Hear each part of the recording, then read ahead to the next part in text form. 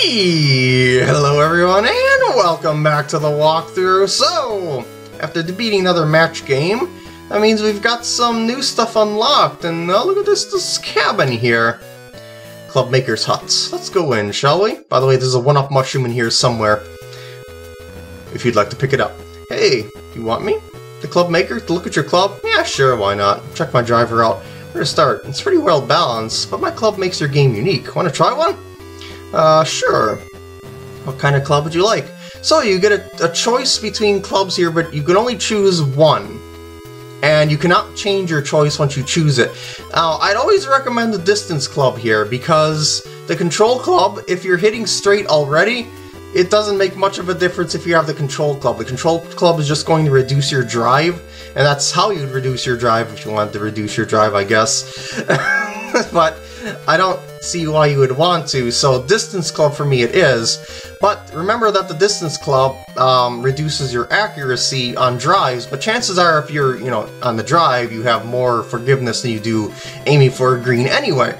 So this will also give you the opportunity to hit off the fairway with a driver because you have more power with your driver, and thus it circumvents the uh, the lie issue of hitting a driver off the fairway. I'll keep your club here. Come back for it anytime. So yeah, you can swap out the clubs if you'd like to, but I am going to be... Gulf's fire is in your eyes. You're worthy of wielding my work, but chances are I'm going to be keeping this club until the ends of time. um, oh, yeah, that, that one. That's... That's a tricky little side game, and maybe I'll hold off on doing that until a little bit later. Um, oh no, Windy Valley Hole 2 opened up! I'm not going there either. I'm gonna go to the Links Club. so, Links Club. This is one of the hardest courses in the game. There are great golfers everywhere. That's a grand championship for you. Even after playing it many times, Links is still hard. If you can't master Links Club, you won't be genius. I'll be the one to be genius and no one else. Uh, okay, let's play a game in the tournament!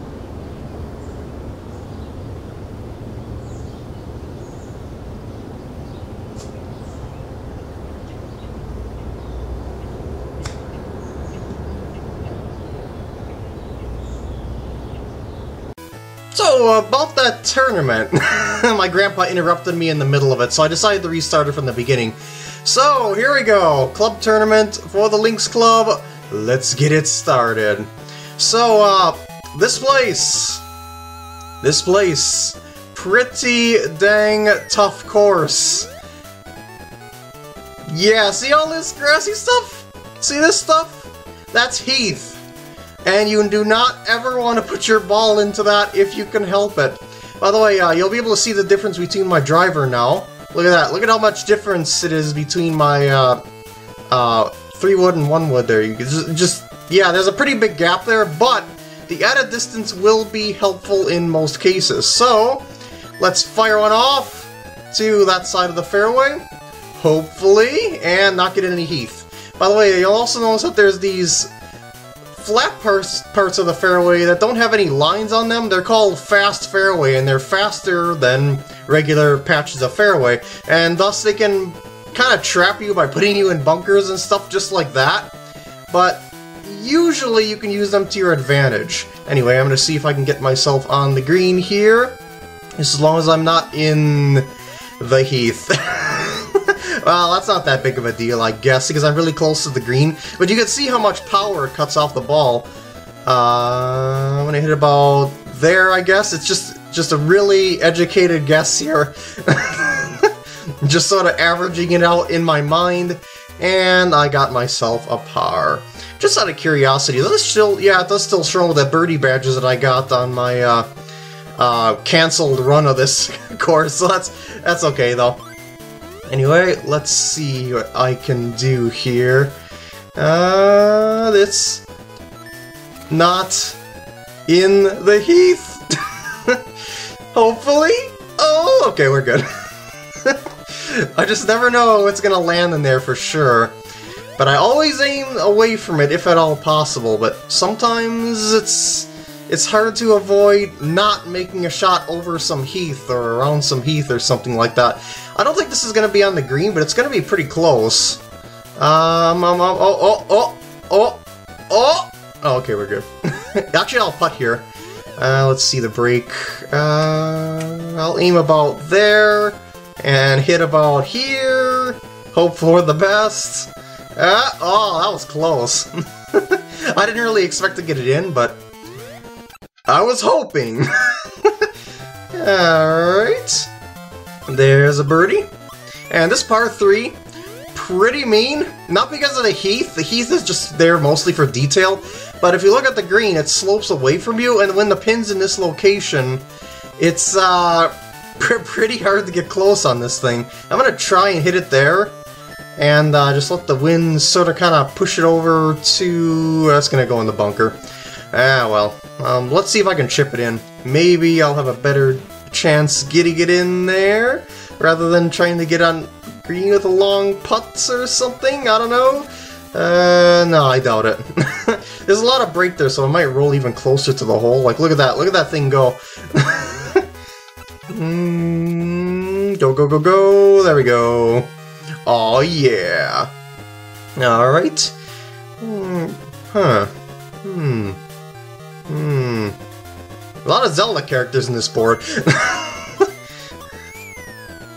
Hmm. Anyway, let's move on here and go to the next hole, which I'm already at, that I'm already swinging to! I don't know why I was even saying going to, because I was already there. I don't know, I was just kind of in a train of thought, and I felt the need to go with that train of thought. This hole is, uh, not as hard as it might look with all the little hazards just strewn about the fairway. The reason why is because if we go back here, you'll see that there's like a whole bunch of stuff that'll push you in the right direction, like the, all this sloping stuff here.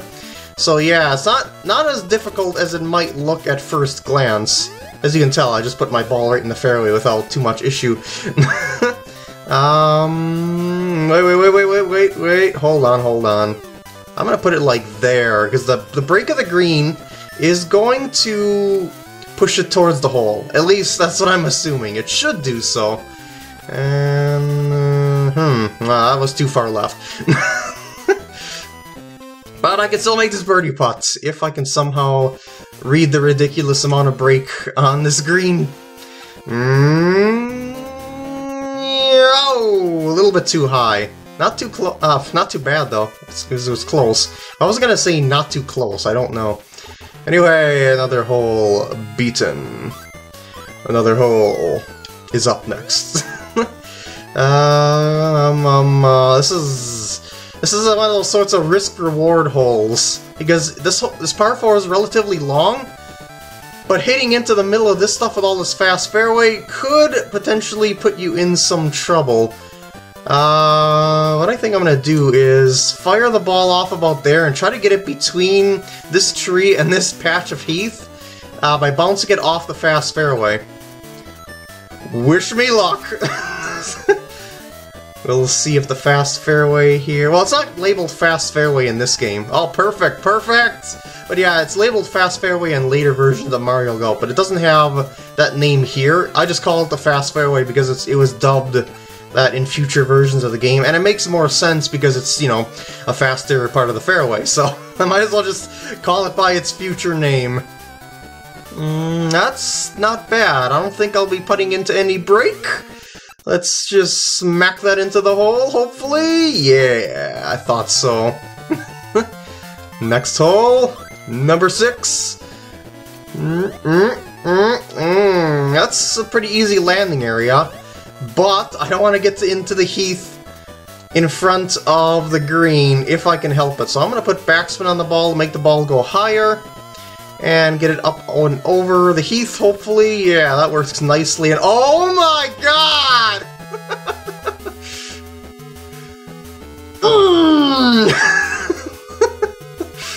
oh yeah! Let's just, uh, not chalk that up to luck there, even though it kind of was, and move on to the next hole here.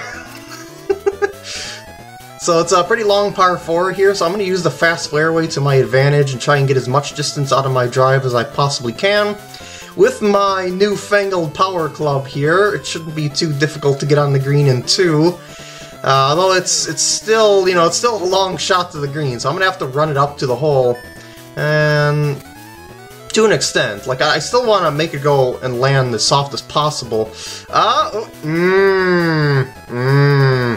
I don't know how close I am to the green there, because I, I didn't roll onto the green at all. It just rolled partially up to it. See, when I roll off the green from landing on the green, I know about how far I'm in the semi-rough, because the semi-rough really stops the ball quickly. But since I landed in the semi-rough, I don't know if I should be putting or chipping here. Uh, let's see my angle here. I think I'm going to try a chip. Alright, let's try it there, and hit it about there. Let the wind push the ball to the hole. Uh, that's not bad. I just could have hit it a couple notches further and that would have been in. But uh, yeah, I, I didn't want to risk doing a putt and leaving myself even shorter.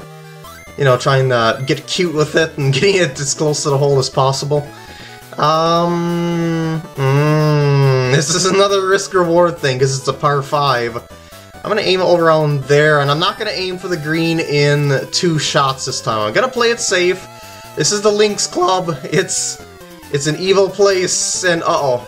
Seriously? I tried playing it safe and I got in the heath? Really? Really? And by the way, you don't even try a wood in this stuff. Look at the... Look at how much power it cuts off when you use a wood in this. yeah.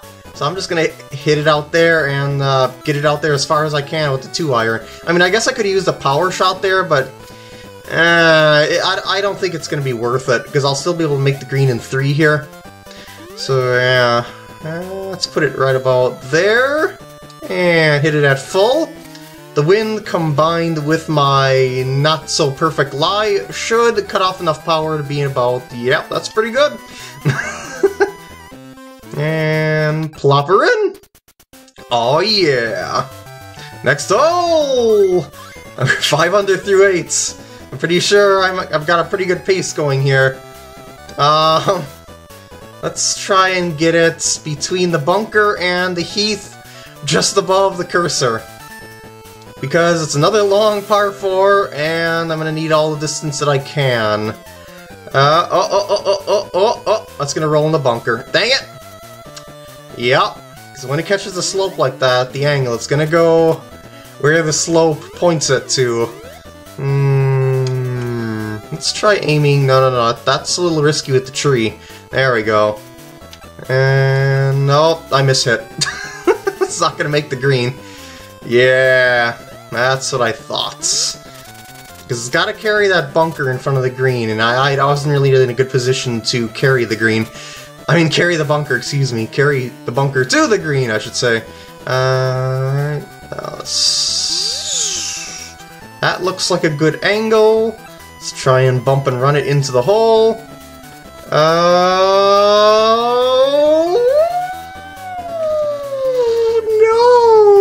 no! so close though.